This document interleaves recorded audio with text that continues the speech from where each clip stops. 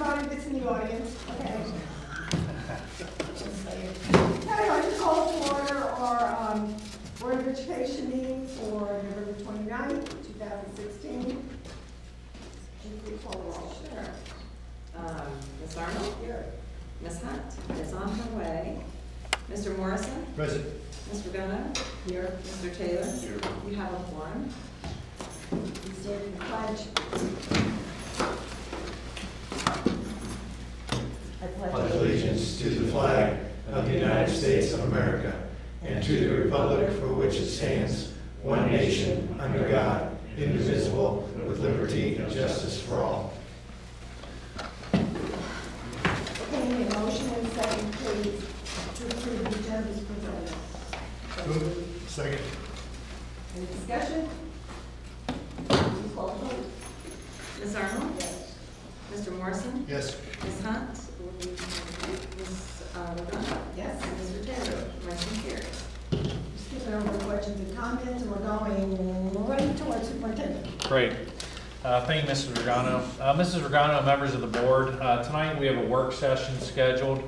Uh, Purpose of this is to start discussing uh, kind of the financial picture of the district and what we see uh, looking out into the future a little bit.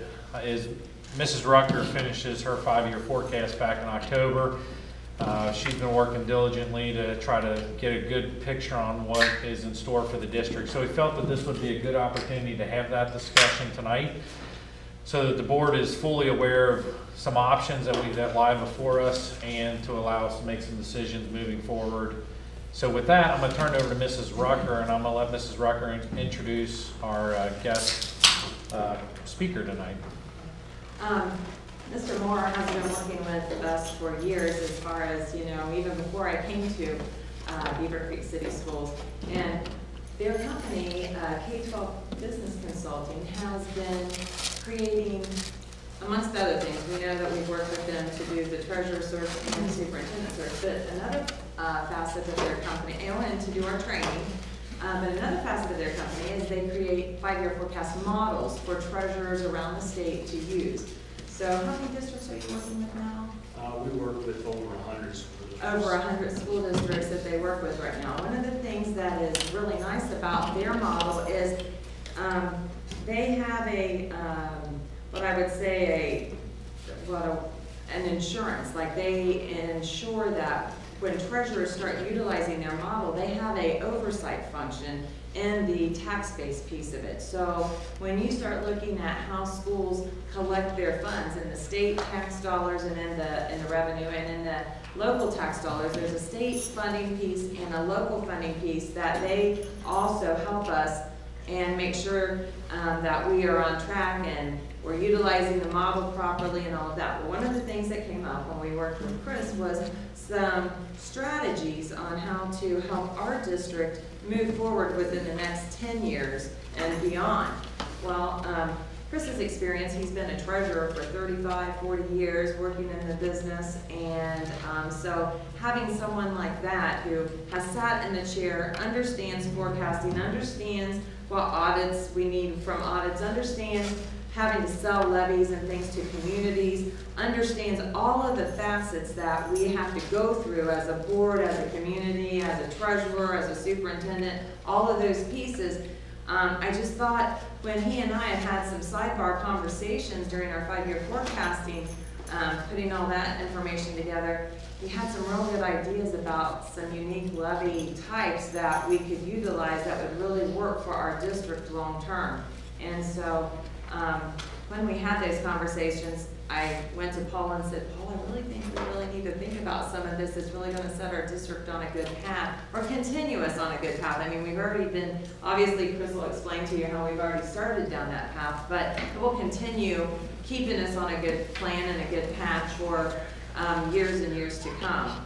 So, Chris, with, with all that, if I've left anything out, please add to it, but, uh, you know, I want to build the credibility with Chris, especially, people sitting around this table know him, you guys have been to OSBA, you guys understand, Chris has a presence, and K-12 has a presence in the school community, but for our observing audience, it would just be nice to make sure we get the credibility factor there. I think Penny just said I'm old. I am Um, too. yeah, Thank you. Um, I know I enjoy working with Beavercreek, as Penny said, we work with you on your treasure search, your superintendent search, and uh, Kathy and Debbie uh, do goal setting and team building. Uh, But one of the things that we probably do the most work in the state of Ohio is on school finance. So uh, I have uh, five CPAs on an MBA uh, working with us on the models, and we work with about 100 school districts in the state. So, um, and we help school districts uh, plan levies. We answer questions that, that people have about levy types, collections, and things like that. So, um, we work with the largest school district in the state, Columbus, all the way down to uh, some of the smallest school districts, Strasburg, Franklin. So, uh, regardless of size, um, as we say, when you see one school district, uh, you've seen just one school district, because everybody has different dynamics. So, uh, one of the things that uh, I talked to uh, Penny about uh, when we were looking at her last uh, couple of forecasts, because I can see you have a deficit that's now on the horizon in fiscal year '21. Um, You also have a couple of emergency levies that you have on the books. And if you had to come up with another new levy, uh, I wanted to make sure that we mentioned that it looks like the Beavercreek City School District had a 20 mil strategy in place to get to the floor by using emergency levies. And it looks like it had been in place for a while. So didn't want to mess that up. You want to continue that strategy along. But there are now some new tools out there called substitute emergency levies that you need to be aware of that were created in 08. So with that introduction, uh, I'm just going to go ahead and go through a few things here pretty quickly. Um, First of all, the uh, school district, you've probably seen this in October. This is from your uh, five-year forecast for October. And this is your revenue versus expenses uh, without a levy renewal. And there's a sign up here too, but I'm going to go ahead and just work off of this screen here. But um, this takes a look at your revenue uh, with uh, three years of actual uh, and five years of uh, estimated uh, actual revenue expense and ending cash. The blue line is your revenue, the red line is expenses, green line is your ending cash balance. Uh, Your next levy to expire is a $10.4 million emergency levy that will expire on December 31st, 18. If that was taken out, you can see you have a slight dip in your revenue and your ending cash balance goes negative in 20. With the levy renewed, so we're going to assume that, and just so you know, that uh, levies in the state of Ohio, uh, when they are renewal levies, have about an 85 to 86 percent renewal passage rate. So it's fairly uh, certain that you can count on a levy being renewed once you have it on the books. So especially this levy.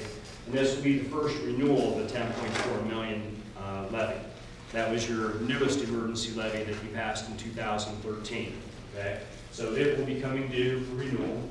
And if it passes, you'll notice that you still have a deficit that you're looking at in fiscal year '21. And that's why I said you're going to need to have some new levy, uh, at least talk about that, or a combination of budget cuts and a new levy to get through 2021.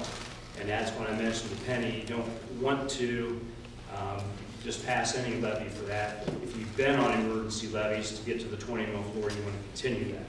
So, uh, one thing I would point out about a renewal of your emergency levy, even if you renew the levy, which 86% chance you're definitely going to be able to get that done, the revenue line still stays flat. The emergency levies that you're renewing now and you've been renewing don't provide you any additional dollars. So you have a lot of effort and campaign uh, angst going out there to renew levies that constantly are bringing you the same amount of money, okay? So that's something that we're gonna wanna look at because we have a better tool to work on that now. You- won't just get uh, the same amount of money with some additional emergency levies. So let's take a look at where your money comes from, just as a reminder. This is FY 17's estimate. Seventy percent of your money comes from uh, local, or local real estate, You have two percent from tangible tax, that's typically your public utility, personal property. Um, And then uh, added together, it's about 76% of your revenue comes from local sources. The twenty-four percent comes from state, it's the green bar, the red bar. But I will tell you, the slice that's green, that seven point nine percent, while that comes from the state, it's related to the purple section. In other words, that's rollback and homestead reimbursements from the state.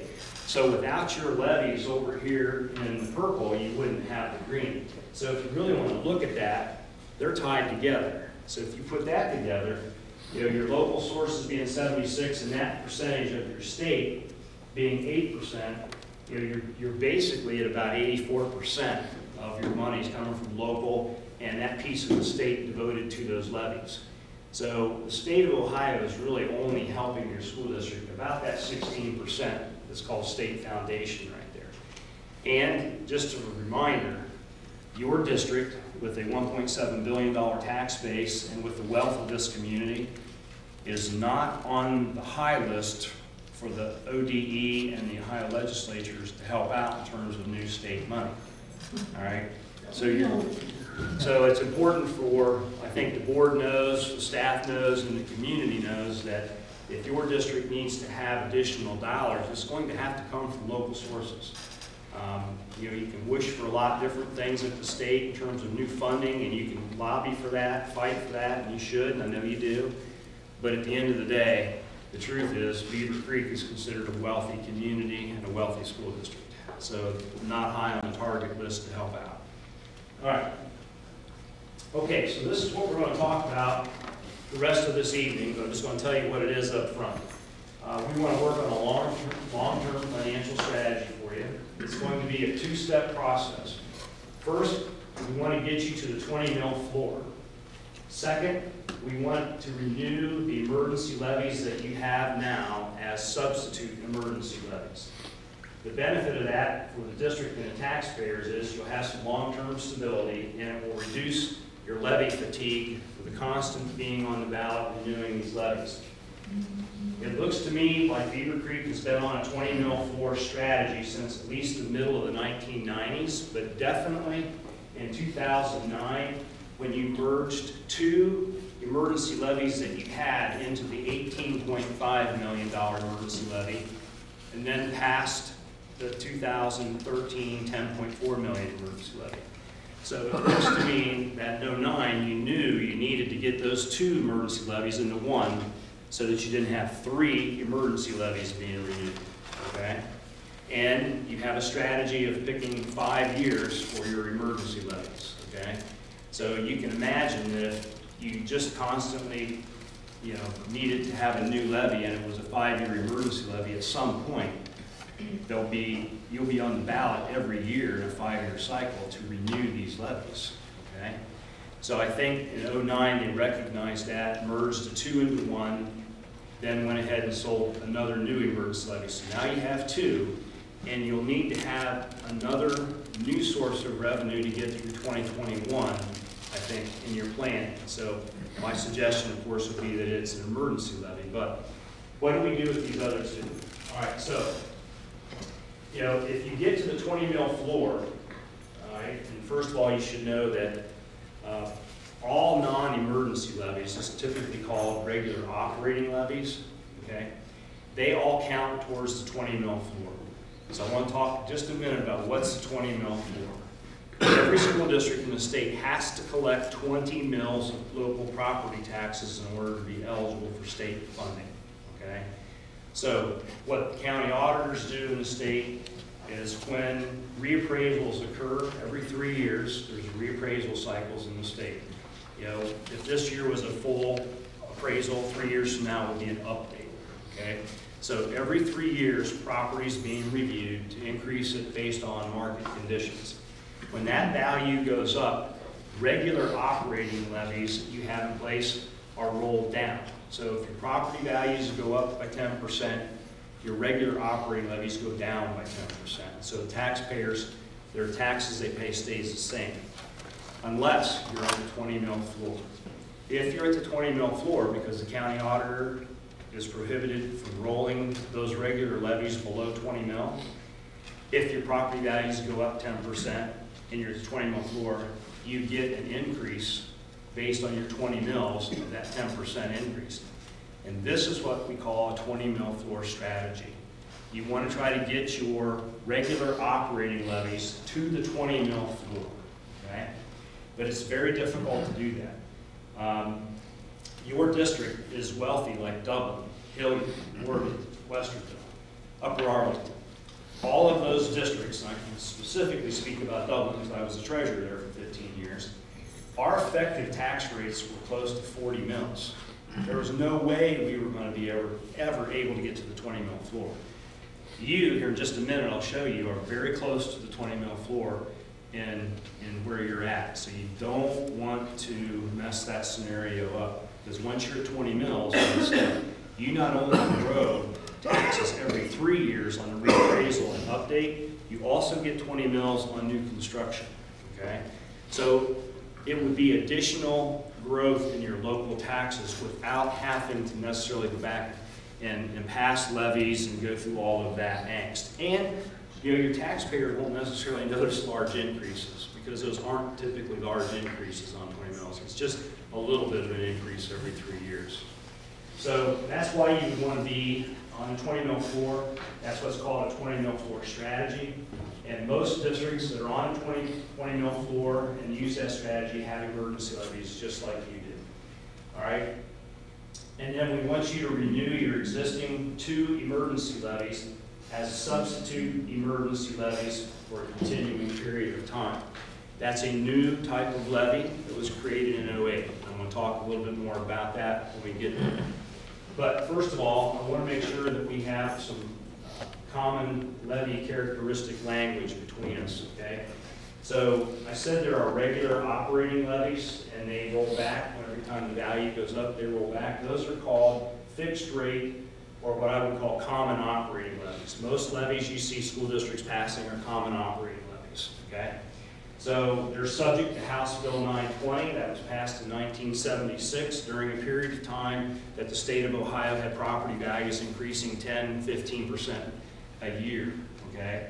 Uh, If you recall, if you had money to invest in the 80s, you could buy a 13, 14% CD, okay? I happened to be in the business of doing that uh, with Talawanda City Schools back in those days. So that also meant real high inflation rates, okay? So um, House Bill 920 was put in place so when house values were going up rapidly, the tax rates would go down, okay? So that taxpayers didn't get clobbered with these huge tax increases. All right, so that's fixed rate levies, all right? They won't grow with reappraisals and updates. They do count towards the 20 mil floor.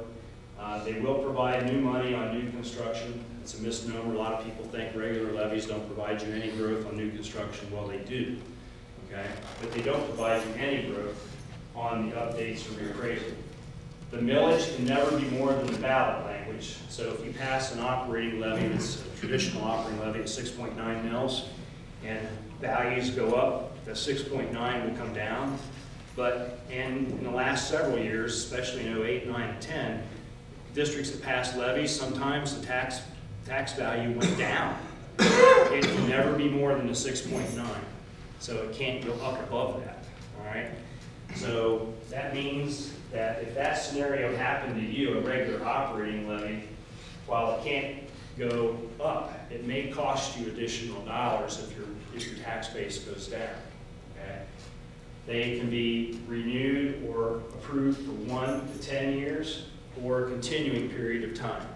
Most districts in the state, if you're passing a regular operating levy, pass them to be continuing, okay?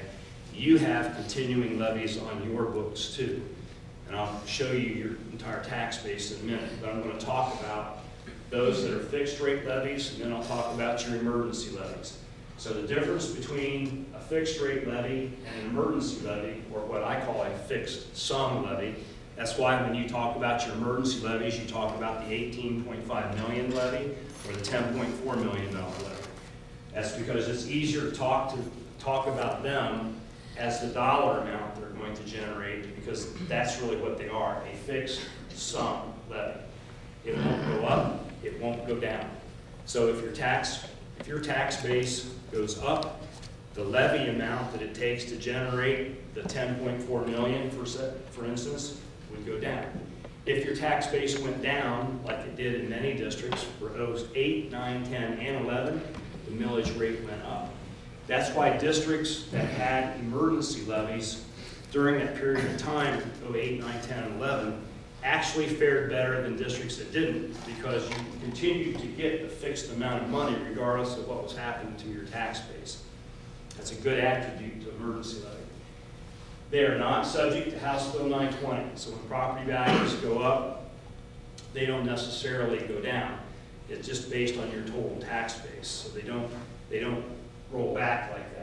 It does not count towards the 20 mil floor, I'll show you in just a minute. That's important. So passing emergency levies, which you've done, helps you get to the 20 mil floor. The fixed amount won't grow or shrink, as I mentioned, it's a steady stream of revenue. They can be renewed, as you know, from one to 10 years. This district has selected five years for the renewal of the levies, and they cannot be continuing. That's really important. You're always with a traditional emergency levy going to have to come back and renew it. It can't be continuing, okay? That was a negative, very negative thing about emergency levies. So here's your tax base. All right, so inside millage plus your fixed rate levies comes up I come up with subtotal. This is your gross millage rate right here, all right? So these are what I call regular operating levies, that twenty-six point two mils, this is regular operating levy. Your inside millage four point six mils, all right, so here we go with this terminology, what's inside millage? This is simple. In nineteen thirty-three, when the state of Ohio moved away from fifteen mils of taxes, they said we will collect ten mils, okay? They carved up a piece of that for every political jurisdiction in a taxing entity. Schools typically get between four and six mils of inside millage. The county typically gets one to two mils. A city usually gets somewhere around one. A township will get a half, and if you have a public library, they usually get a small piece. If you add them all together, it's 10 mils. Why is that called an inside millage? Well, it's because no matter what happens to your values, it can go up and down. It's not subject to House Bill 920. So the 10 mils is always 10 mils, okay? These fixed rate levies are sometimes called levies outside the 10 mil limit. You'll pass a tax budget this year in either December or January. If you look at the tax budget and still are awake after five minutes, um, you'll notice it has up there inside the 10 mil limit, outside the 10 mil limit, okay? That's, there's a distinguishing between outside the 10 mil limit that was voted on and the 4.6 inside 10 mil was not voted. It was given to this district in probably 1933, and it hasn't changed since. All right. But for 20 mil floor calculations, all right, we then need to take a look at what the inside and the fixed rate levies add up to by class. Class of property. Class one, and I'll refer to it as class one, is residential and agricultural property.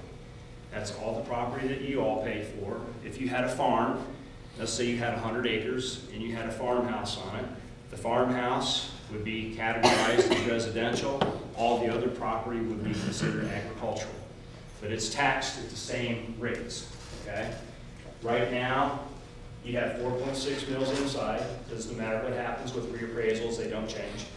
But you can tell over time, since these levies have been passed, property values have gone up because the levies have gone down from 26.2 to 16.6, okay? In class two, or what we call commercial industrial, that would be uh, all the buildings that I drove by on the way here from the Forest Fair Mall. That would be the McDonald's, the restaurants on the corner, apartment complexes, hotels, uh, any industrial property that you have where there's manufacturing going on.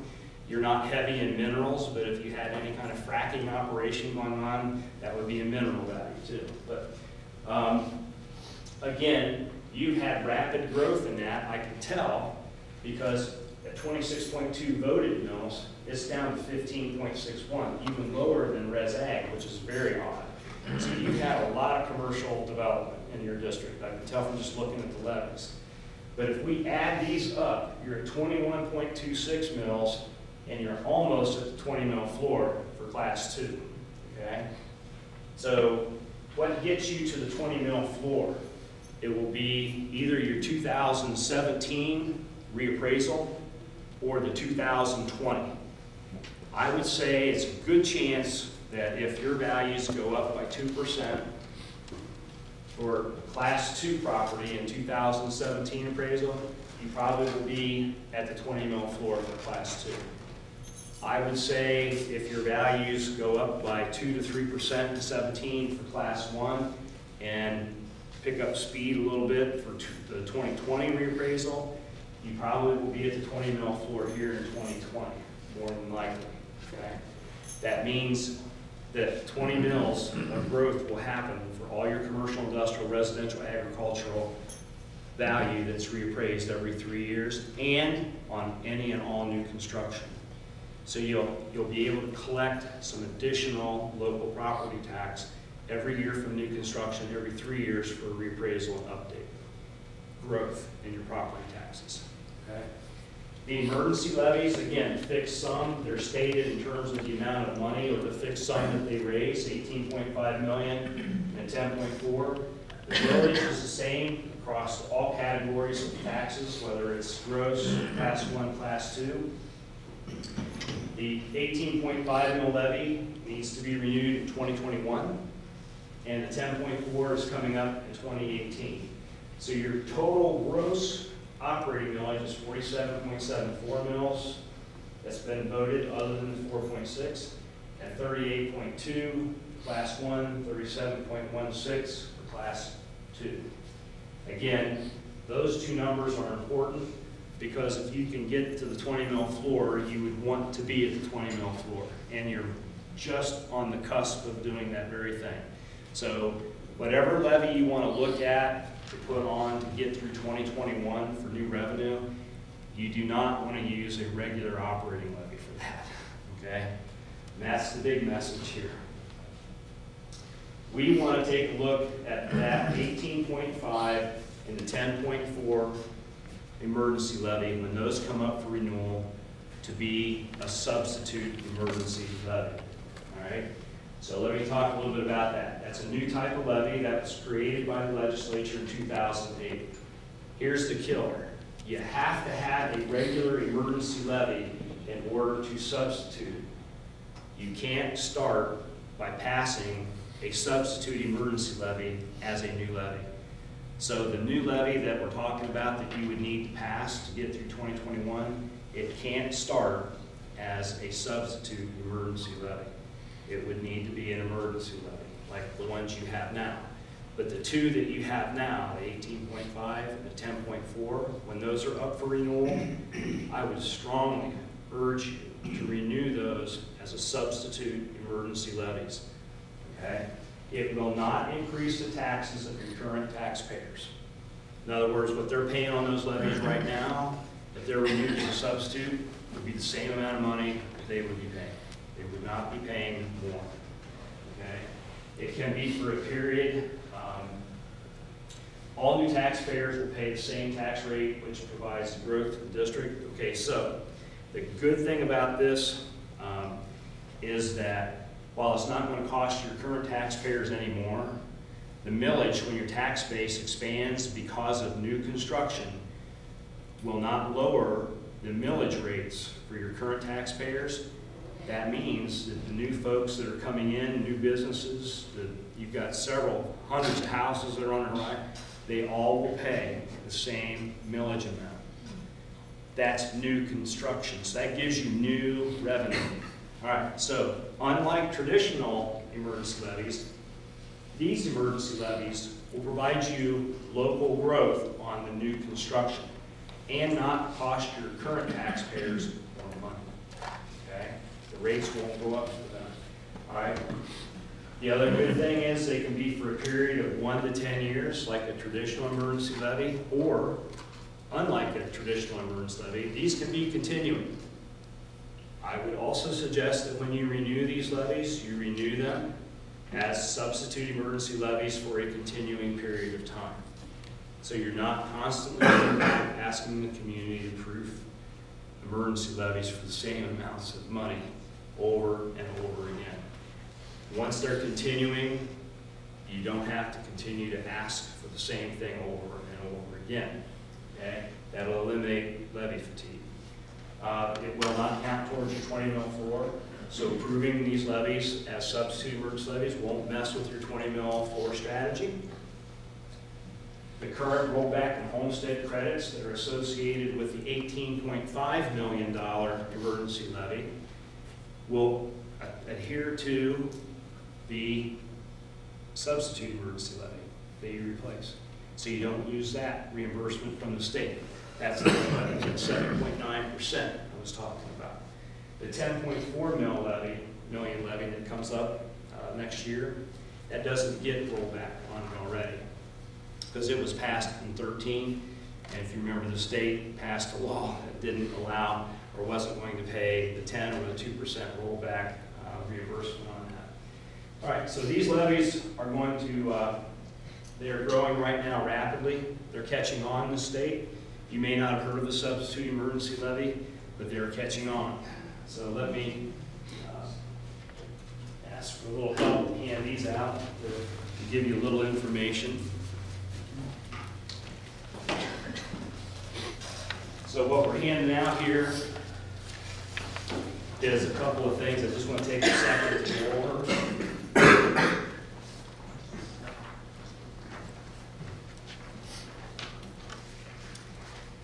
The top sheet, just a simple synopsis of what the traditional emergency property tax levy is. And then right below it, a substitute emergency property tax levy. And I have underlined the important points that I just made about growing on new construction. They can be for a continuing period of time. On the next page, you'll see, I just, it wasn't hard, you can, you can type this in yourself and look up uh, voters approved substitute emergency levies. This was in just this year Delaware City Schools, they passed a substitute emergency levy by a sixty-five to thirty-five percent margin. I'd be willing to bet that the emergency levy that they had, that they renewed prior to this was probably about the same percentage. And why not? It's not costing your current taxpayers any more money than what the regular emergency levy was, okay? Um, Again, next page, you have Westerville City Schools. So as levies, as traditional emergency levies come up for renewal, districts are more and more using the substitute emergency levy as their renewal vehicle. And again, why not? It doesn't cost more money, you can make them continuing, and you get new construction. If there was a perfect property tax type, I think it probably is a substitute emergency levy. And you also get the continued fixed dollar amount. So the ten point four million levy you renew, not only will it grow for new construction, not only will it not cost your current taxpayers more money, but should we have an economic downturn, like we had in 08, 9, 10, 11, the ten point four million fixed sum is, you'll always, you'll never go below that. So it provides a floor for you. That's why I said, you know, when somebody asks me, you know, what do I think about these things? It's a it's a perfect property tax issue, okay? In, in my opinion. So, that's why you need to take a look at that as a substitute emergency levy. Lots of good reasons for that. Here's your tax base. Just wanted to talk about that because we're going to start talking a little bit about uh, some scenarios with that. Before I go even further into this stuff and talk a little bit more about numbers, is there any questions about the things that we've talked about?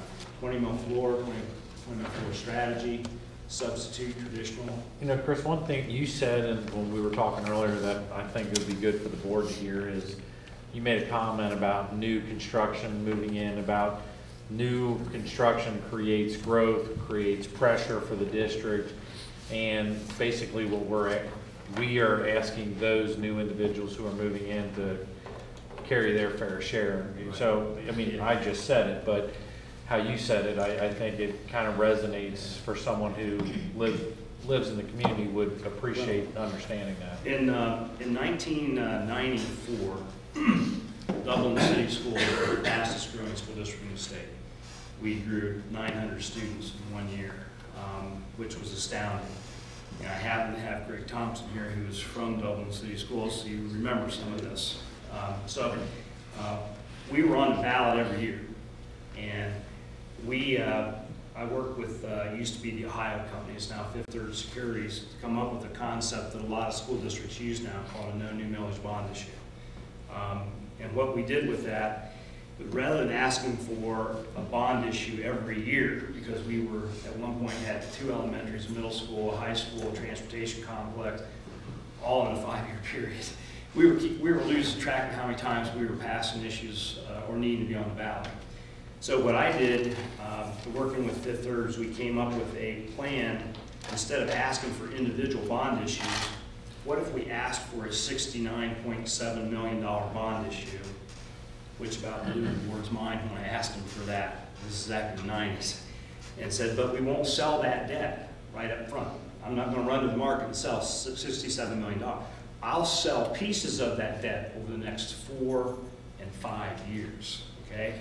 One bond issue, I'll make several sales of the issue based on our new construction that was coming each year. And what would benefit from that?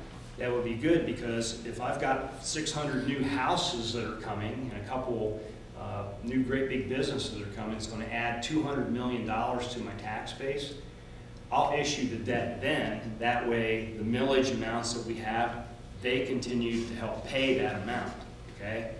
So, in our community, latched a hold of that very quickly, because they all saw the new schools, they saw the new housing subdivisions. It's like, well, why are we paying for all this growth over here that these folks are causing? Well, here's how we're gonna handle it. I'm selling pieces of debt as soon as their value comes on the tax rolls so that they can help pay. And it's helping to drag down that debt. So I think it worked really well there. We sold four new no new millage issues over about a 16-year period, um, and they're still paying 8.61 mil debt. That's what it was in 1994. So um, it effectively spread the cost of the facilities over the, not only over the folks who were there there, but a good share of it to all the folks that were coming in and bringing it. So you have operating cost pressures uh, coming from the 2,400 new homes that you're going to have by having new students come in. This is really kind of the same thing. By not lowering the millage amount with the traditional uh, emergency levy, the substitute keeps that millage level the same for everybody, including all the new folks that are coming in, and you get that millage on the new construction. So it actually helps bring in the additional money that it's costing you to operate. And, you know, I think it's a good, in, in accounting, we call that a matching principle, your revenues and your expenses. So I, I think it's a, it's a good way to help spread that to the folks that are maybe not here yet, but would be happy to pay some additional dollars to be here. And no pun intended, they probably would have. That's why they selected the community. So, okay, you're very heavy residential, you got a bunch more coming, okay? So, uh, I would say that, that this type of strategy, I think would work very well. I think it would, it would probably ring well, I would think, to the folks that are voting on these substitute levies to renew them, uh, that they understand that these other folks that aren't here yet are gonna pay their share. So let me give you a scenario. This is a scenario of, an example between a traditional emergency levy and a substitute emergency levy. So we're going to use the ten point four million dollar renewal that's coming up of your emergency levy. Right now, it's at six point oh nine mils. So let's just say that that needs to be up for renewal in May of seventeen, which I think would be a wise timing to put that on the ballot. Uh, Let's say your current AV is one point seven billion, and let's just use what would happen with three percent new construction, or fifty-one million dollars of assessed value. With the traditional emergency levy, that fifty-one million is just simply added on to the one point seven billion. The fixed sum amount of ten point four million stays the same. So what happens is, with that additional fifty-one million dollars, you go from six point oh nine mils, where it is now, down to five point nine one.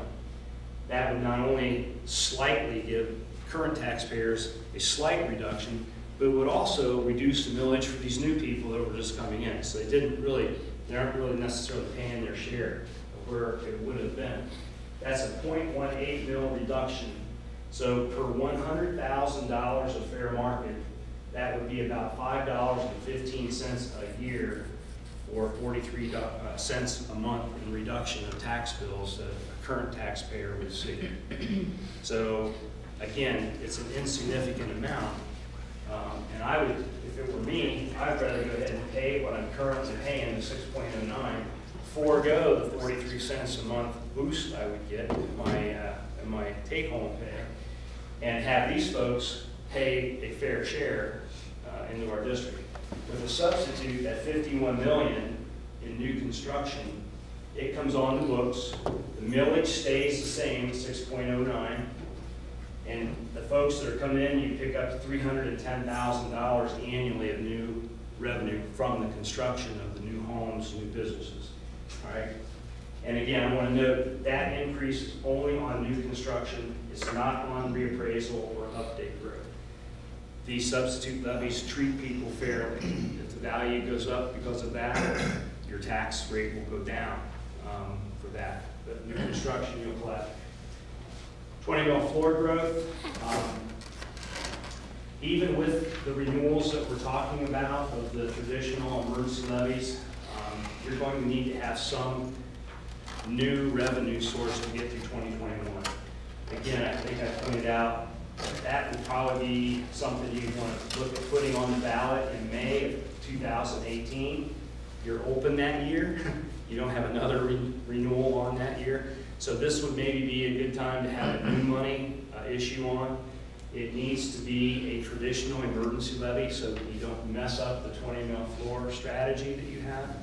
Um, And you can make that be a five-year duration so that when that comes up for renewal again in May of '23, then I would make that emergency levy a substitute emergency levy.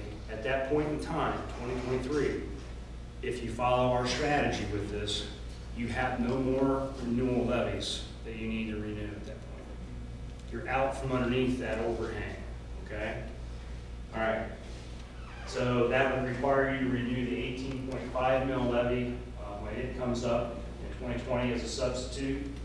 So again, by 2023, uh, Beavercreek could be uh, emergency levy renewal free. Okay? And you would have growing emergency levies because they're substitutes. Okay? All right. The 20 mills that provide not only growth on new construction, but also inflationary growth on reappraisal and updates every three years, that would be in play by 2023. It probably will be in place sooner, okay, depending on your property value growth, okay? 2023 would be the latest that would be in effect, because I know what's happened to your tax base, I'm gonna show you here in a second. So, uh, by, by 2023, everything you have in terms of a property tax issue would be grown. So that's what we're trying to unleash here by this strategy. So, uh, you know, your district may not need new levies going forward, um, by simply watching your expenses, and if you had modest local assessed valuation growth, okay? I can't say you will never, but I know if you follow the strategy, you're gonna put yourself in the best position possible to not be asking for more money than you actually need. So, let me recap the timeline in order that things will happen.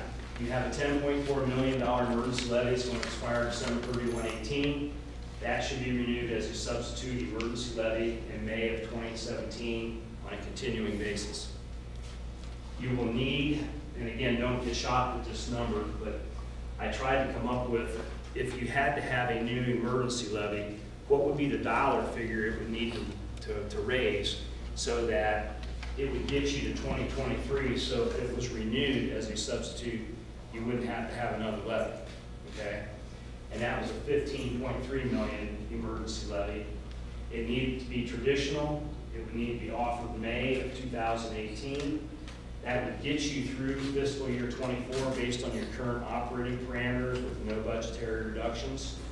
Um, And again, when that comes up for renewal in twenty twenty-three, you would renew it as a substitute emergency levy too. All right? And then your eighteen point five mil emergency levy expires December 31, 21. renew that as a substitute emergency levy in May of twenty twenty. At this point, again, all of your levies would be, these would all be growing based on new construction, and your twenty mils would be growing on new construction and reappraisal growth every three years. And again, I, I picked this number just because I was trying to get, if you passed a new levy in May of 2018, what would it take to get you to 2024 at your current operating parameters with no budget reductions or anything? That is not being decided this evening, it's just a number I know would get you there, okay? There's uh, just a few sheets here uh, I wanted to talk a little bit about, and that is just to let you know that this is a reappraisal and update cycle in the state, and you can see that in 2017, Greene and Montgomery County, and you have value in both of those, will have a um, update, okay? So in an update, they take a look at uh, sales, uh, values, see if they've been increasing, and then they combine and adjust uh, houses usually by neighborhood. It's pretty refined these days. So values will go up in 17 to be collected in 18. Then if you look over in 2020, I highlighted that Greene and Montgomery will come up for a complete reappraisal. That, they do a little bit more in-depth work.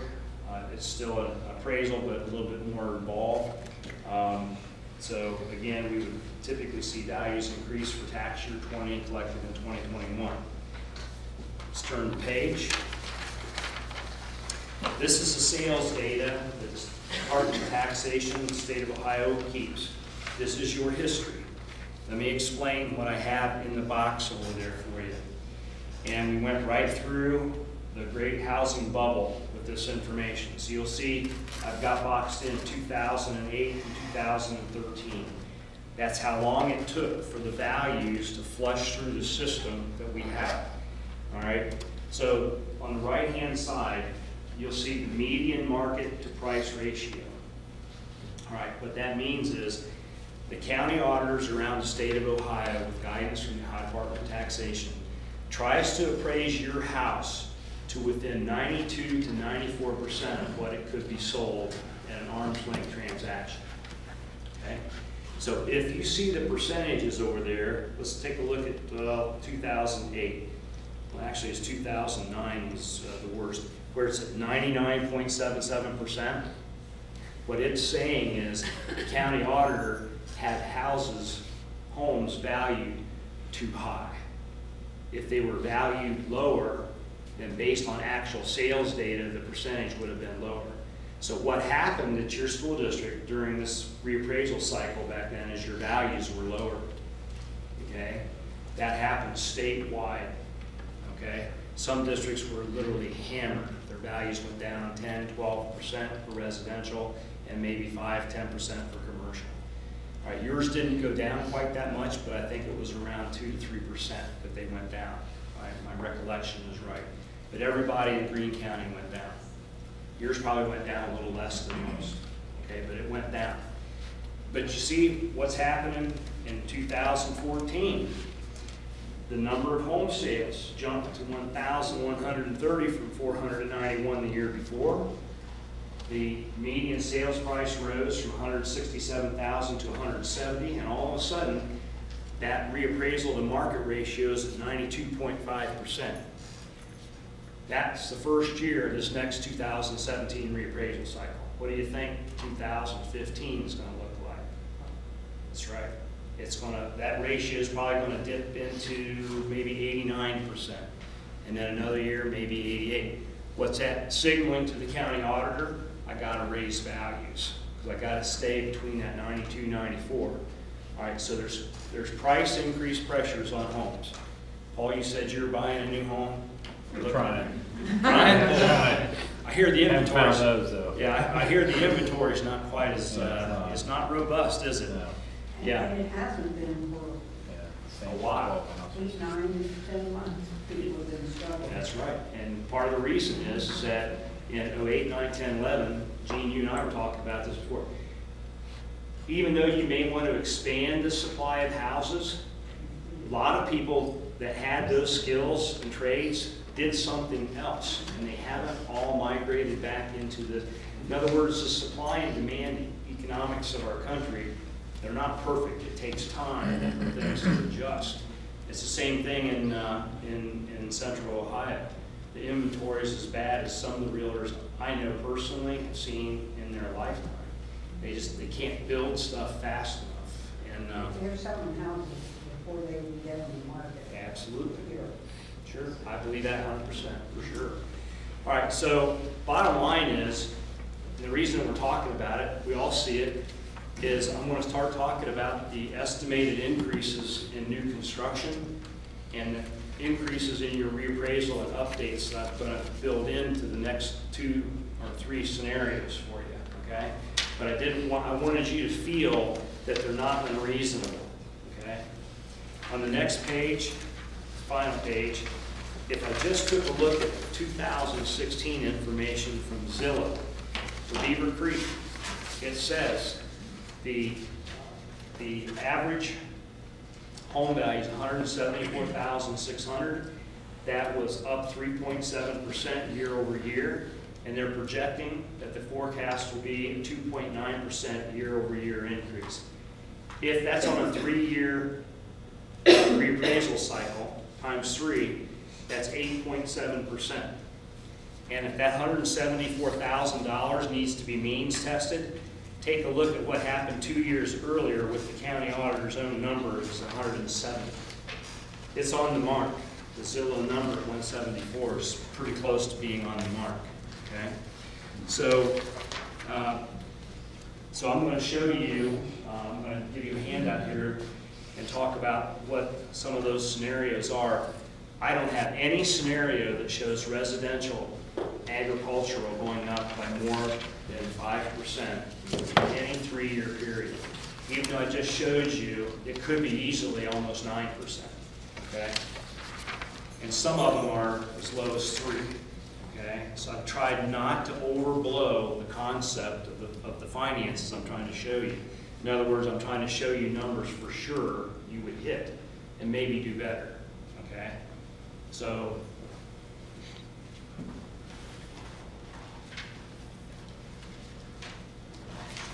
So, those.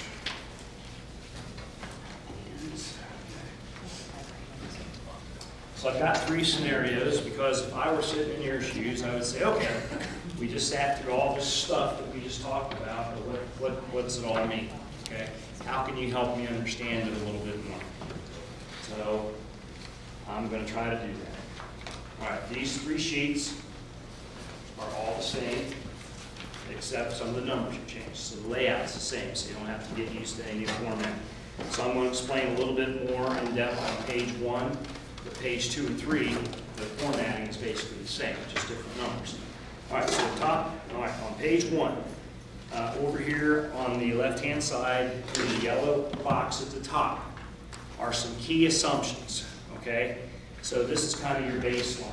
In other words, this is exactly where you're at right now. Uh, we need to renew the upcoming two levies. I've estimated two point seven percent reappraisal growth and nineteen point five million in new construction. When I say two point seven percent reappraisal growth, that's for 2017, 2020, 2023, and 2026. I am clearly being very conservative, okay? I'm not trying to, you know, blow this all up and make it look grander than it is. I can almost guarantee it will be better than I'm showing you, but it's, I, I don't wanna, I don't want you to be misled by anything. I don't do that kind of stuff. All right? Um, renewing the emergency levies for five years as per history. In other words, this scenario shows emergency levies being renewed for five years, traditional emergency levy, no new construction growth. So I'm just showing you your normal operating parameter here. All right? Uh, And then I'm adding a new emergency levy in May of 18 that gets you through 2026 at a positive ending cash balance, okay? I'm not trying to decide whether you need two, three, I'm just saying, what levy would it take to get you to 2026, which is our 10-year planning horizon, okay? And then the final thing is, with you doing, or me modeling in this scenario, the same operating things that you've been doing, renewing levies every five years, this would mean that you would have to renew levies again in May of 2019, 21, 22, 23, 24, and 26. You'd be on ballot all the time. So, and, and that was what I circled up above these years, all these years, there's constantly renewals, okay? Again, for no more money. All right, about a third of the way, uh, uh, well, right here on this sheet, is easier for me to point, if you see a little gold star, I just punched a number in and said if we offer a levy in May of 18 to first be collected in calendar year 19, it would take an 11.6 mil levy to get a positive ending cash balance, which I have represented by the red arrow right here. And you'll see that's just a little above $1 million. Now, that's not as much ending cash balance that you should have, but it's positive. So I was just trying to get you to a positive point. What would it take? Operating at your current level, renewing the traditional emergency levies over and over, okay, would be eleven point six mils would be needed. Not, I'm not saying in one shot, I'm not saying in two shots, three, I'm not deciding what that would be, it would just be this much money. Scenario two, yellow box. I'm still using the exact same overall growth information, two point seven percent, new construction nineteen point five million, this time, however, we would be renewing the 10.4 million, million emergency levy as a substitute in May of 18. We would be renewing the 18.5 million emergency levy as a substitute emergency levy in May of 2020. The new emergency levy 2018, I haven't factored that in, okay? Um, I'm estimating at 2.7% that the uh, you would be at the 20 mil floor for class one in 2023, not 2020, again, because it's so conservative. I'm estimating that you would be at the 20 mil floor for class two in 2020. Again, really conservative property assessed value increase estimates. All right, right now, if you looked at the gold star, you would see that that's an 11 mil levy, not 11.6. You'll also see a whole lot fewer red circles at the top of the sheet for renewals, because once you renew a levy as a substitute, you don't have to renew it again, because we're suggesting as we continue. At the very bottom, you'll see a new set of numbers, and you'll notice the red arrow, it's positive at a million, just a little over a million bucks, just about like scenario one. You'll see a new number at the bottom that says seven point, uh, seven million nine hundred and fifty thousand. So if we just did these renewals as emergency, substitute emergency levies that grow, and you hit the 20 mil floor in 2023 for class one and 2020 in class two, you would generate $8 million more just using the same economic growth scenarios that you currently have in the forecast. So that trimmed from 11.6 to 11 the amount of levy millage you would need over this 10-year period for new levies. With that in mind, scenario three. Scenario three, that yellow box is a little bit more beefed up. Gee whiz, I went all the way to reappraisal growth of 4%. I just showed you it could be double that, but I went all the way to 4%. This is as aggressive as I would be, okay, for planning. So we want to make sure that you get this, all right, and you get what we project. New construction growth, 20.5 million instead of 19.5. Again, not really going too far out there, but knowing that you got over 2,000 new houses that are planned to be built here, probably in less than the next 10 years.